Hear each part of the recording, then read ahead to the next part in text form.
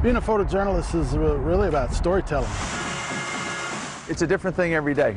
The, no two days are ever the same. 451, 452. There's a basic level of satisfaction in that, you know, when you started your day, this didn't exist. This story didn't exist. It's very powerful. It's breathtaking. You wrap it all into a story that airs on the news. We tell stories that'll make you just laugh like crazy and then tear up.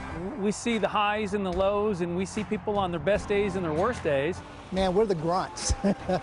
we're the grunts. We're the uh, the first ones there, the last ones to leave, whatever situation's going on.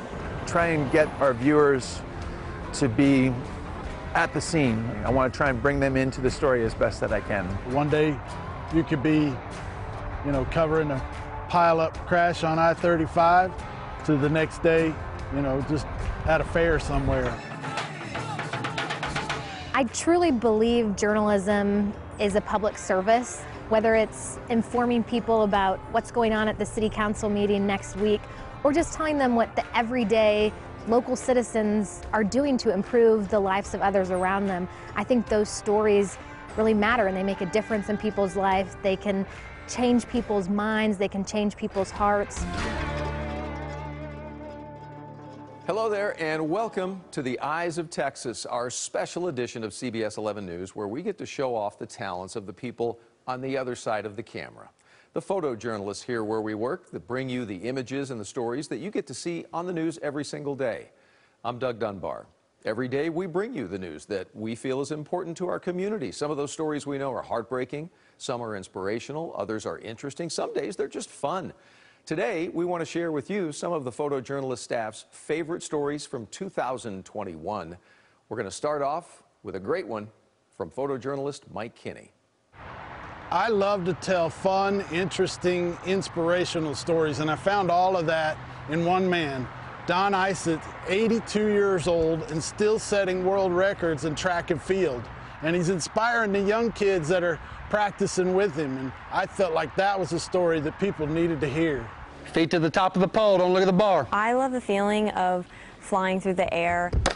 Pole vault's really difficult because you're carrying this long pole and it doesn't like bend on its own. You have to use a lot of uh, strength and control to bend it. We're at the Texas Express uh, Training Center uh, located in Princeton, Texas. Nice jump, dude. We just got a, a great club of kids from about 10 years old to 82. Come on, Don. I'm Don Isett. I'm 82 years old. And I pole vaulted in junior high and high school. and then didn't take it back up until I was 66 years old. Try to always kick your feet to that top hand. Because, you know, like I'm always telling you, you're just kind of shooting out a little bit. I just got bored with my hobbies. And I found out about Masters Track from some older people that were working out over at the Richardson High School track. And I got interested in it and entered a meet, and uh, I've been stuck in it ever since. That could have been a world record right there, man. How many people are your age are in the competitions? Not very many. That's, uh, that's a downside of, of reaching 82. Uh, the competition thins out quite a bit the further you go. You know, I'm just hoping I got half the energy and vigor that he does, but I'm hoping I can tie my shoes when I'm 82. What do people say when you tell them, well, yeah, we got an 82 year old on the pole? Well, their jaw drops about down to the floor and they go, really? And then they, they, they're, you know, and then as soon as they see it, you know, I, I always got it on my phone and I love showing it to people. It's really inspiring to see him jump. He has such a great work ethic, and I love watching him jump. It helps me to jump harder because I hope to be like him when I'm his age as well. Let's go, Don. Won all the national outdoor championships, and I've won all but one of the indoor championships. I got second in one meet, but five out of six senior Olympics championships. Well, I didn't do it in college. I, I was not good enough. I, would only done 10 feet. And, uh, but after I got back in Masters and uh, got some coaching, uh, I think the highest I've jumped in a meet was 10, 11 and three quarters. Was one of the highlights of my life was was getting over those bars. You know, we've been we've been there for you know I want to say probably five or six, you know, world records now. So it's just been a heck of a ride, and I just he's driven. He's, he's a neat person to be around. Like I said, he's a top. If he's not the most interesting person I've been around, I mean, he's he's top three. What do you and the others your age say about Don? I mean, I mean, we mostly just talk about how incredible it would be to have world records and especially at that age, it's really impressive and it just gives us someone to look up to during practice. Third attempt, world championship, Big Don. World record attempt. Let's go, bye-bye. How long are you going to keep going? As long as I can. I, I love everything about it. Good day at the office, sir. As a sports photographer, I love to cover all different kind of sports, whether it be professional, high school. This one particular family, the Vernon family, they play everything. They play uh, softball, baseball, football, you name it, they play it. But the only way they can do those things is that they've got to do it uh, and get their grades right. And if they don't have their grades right, they can't play anything. And the one thing I took away from being around them is that they really are a family that loves each other. My mom is always we're the Black Brady Bunch. And I'm not sure who the regular Brady Bunch is, but I can say if there's a Brady Bunch, we're it. We're a very athletic family. Ooh, they do a little bit of everything. Figure skating. Channing plays baseball. Swimming. My daughter's a dancer at school, high steppers.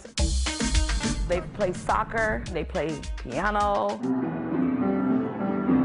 We play for the RBI, the Texas Rangers Youth League. They also volunteer and work with the U.S. Association of Umpires. We just get really, really busy. We split up a lot, going different directions with them, but. There you go. Good job. We're able to basically instill values and work ethics and integrity and character, the things that's important in, in building children as they grow. We're mainly a baseball, softball family. It brings us all together.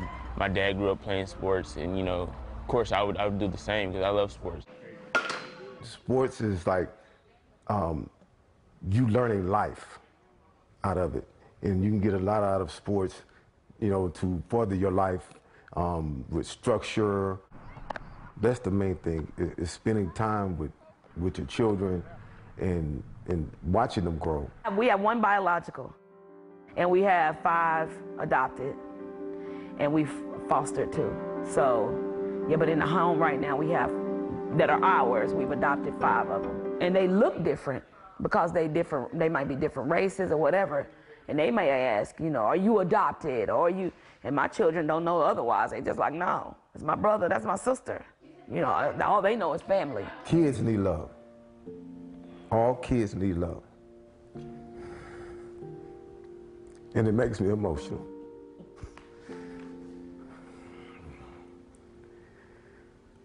Because my expectation, you know, the question you asked was, what motivates me is that when I was growing up, my parents moved away, they separated. So I wanted to be here for my kids where if they needed somebody, I'm here. I didn't want to just say I got children and be out somewhere else. I wanted to be here to hold my kids when they have their faults, help them when they have questions. Let's go, Hannah! Clean it up, Hannah! It's a calling and it's a ministry and it's what we do. We do. We're an excellent team when it comes to children. We're all pretty good at school. it's always been no pass, no play. T. Hi. I have honor students um, all National Honor Society, those. And then the younger ones are doing very well. Academics has always been her strong suit, and that's what she likes to put forth. She likes for us to get our books so that we can come out not only being great, but having something that no one can take away from us, and that's an education. I don't see the last one leaving. I don't ever think I'll be childless, and uh, I don't want to be because as long as I have breath and can move and I'm medically okay, I got something to give back to some, some child.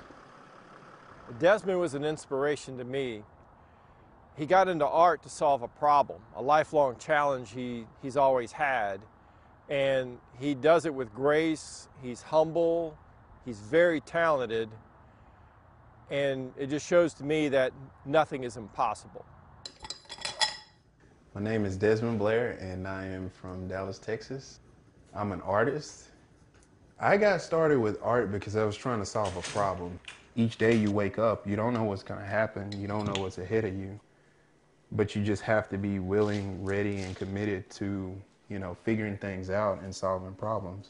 My thought was, well, I want to paint people because the challenge is always you have a moment to capture them, and that moment has to tell a story about whoever you're painting. I saw the work, um, and it's it's just gorgeous. Everything that he does is just beautifully and stunning. And then when you learn that he doesn't have hands, um, kind of makes you think, and it makes you just realize that anything is possible, and giving up is just not an option. Uh, the way I describe my situation, I don't like to think of myself as disabled. I'm just different. And so that was kind of the mindset that was echoed at home growing up uh, with my mom and my grandma. Like they both were, you know, just explained to me at a very early age, you're going to have to figure out your way of doing things. What I always wanted to see as a kid was somebody like myself, overcoming, I guess, if you will, the way that they were born. And so if I can do that as an African American voice and also like give a voice to, you know, maybe other um, African American kids with limb differences out there, then I think I'm okay with doing that. Everything that he does is about serving others, and there's just something so empowering and beautiful about that. We all have like this human experience, but we're experiencing it from different vantage points at like the same time. I think landscapes are cool, but um, just people like I don't know. It's just something about capturing like emotion. I think that's the challenge with like each painting or portrait.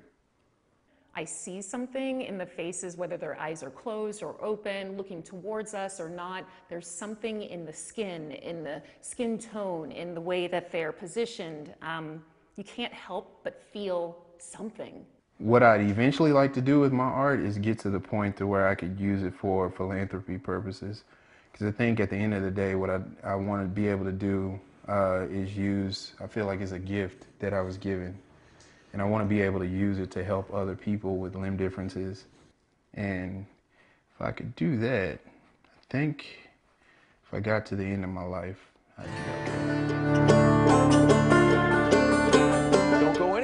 Coming up, you're about to meet a big fan of the big rivalry. Boomer Sooners! And we take a look at some Fort Worth history in a place called Hell's Half Acre.